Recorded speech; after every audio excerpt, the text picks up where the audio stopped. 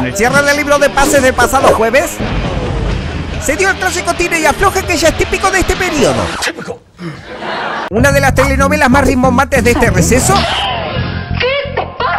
fue el idilio que se generó entre Gallardo y Paulo Díaz. Yo he pedido un solo nombre. ¿Te gustaría jugar en River? Sí, sí, me encantaría. Después de haber insistido en varias oportunidades por el central chileno, Pero la prioridad sigue siendo Pablo Díaz. y al ver que no llegaban respuestas favorables desde la dirigencia, en la conferencia de prensa post partido, Gallardo le puso punto final a la situación con evidente hastío. Perdón, pero tengo las bolas llenas. Mira, de Pablo Díaz ya los directivos saben lo que pienso y no voy a opinar más del tema.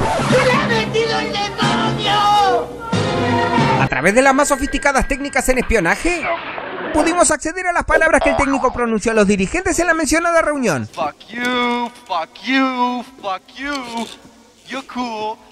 Pero parece que en realidad la dirigencia millonaria esperaba agazapada la clasificación de River a cuartos de final de la Copa Libertadores. A los cuartos de final el equipo de Gallardo. Y así desembolsar el dinero que los árabes solicitaban, ya que 24 horas más tarde el deseo de Gallardo fue cumplido. Vas a tener tus deseos, así que siéntate. Mientras Andino se convirtió finalmente en refuerzo millonario, que acaba de firmar su contrato Paulo Díaz. generando la dicha del técnico millonario. Toda esa serie de estupideces que hacen del fútbol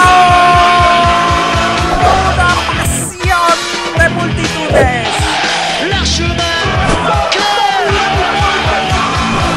Ya está todo dispuesto para comenzar, así que sentémonos a disfrutar de estas locas aventuras deportivas tituladas Crónicas Deportivas.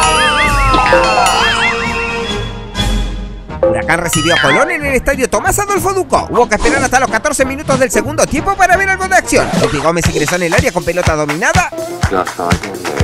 Escobar le cruzó la pierna y penal para Huracán. Penal para Huracán. Que el propio Drupi Gómez ejecutó.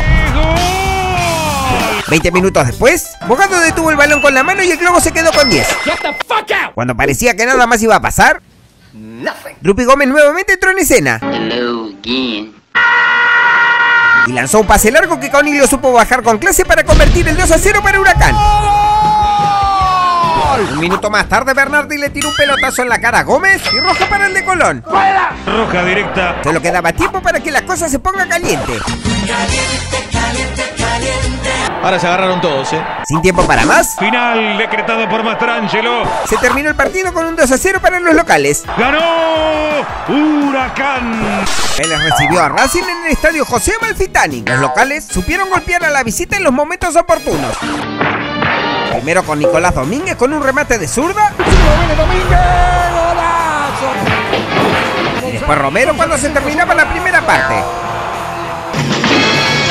Parecía que Racing estaba fuera de combate. Vélez le gana bien clarito a Racing 2 a 0. Comenzado el segundo tiempo, la academia volvió de la muerte. Y se fue con todo en busca de la heroica. Llegando al empate con goles de Neri Domínguez en primera instancia. Gol de Racing. Y cuando el partido moría, Pichut bajó magistralmente un cambio de frente El control de Pichut fue una maravilla. Para estampar el heroico empate en el marcador.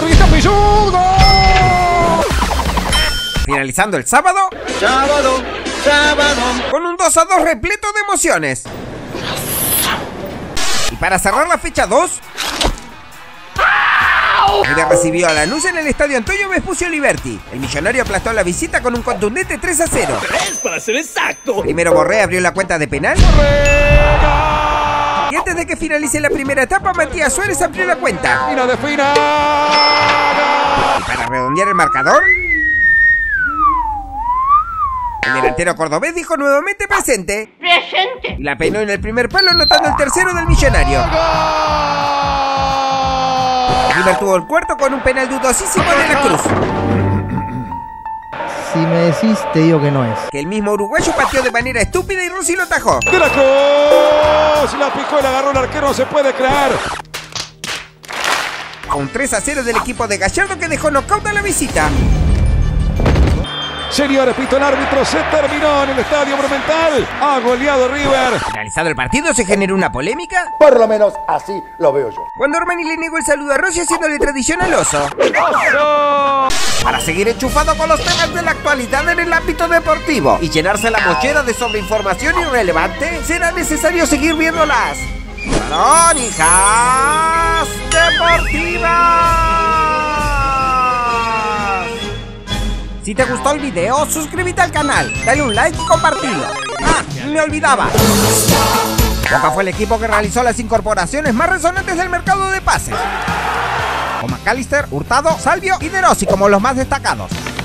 Y para el cierre del libro nos tenía preparada una gran sorpresa. I got a surprise for you.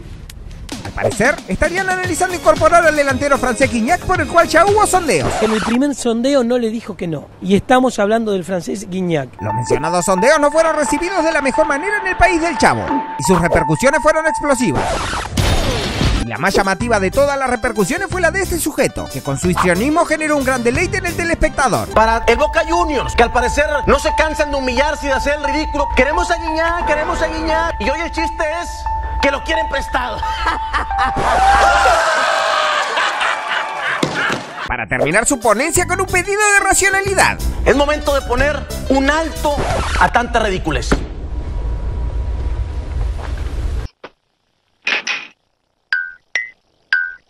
Habiendo compartido esta bonita historia, solo resta decir...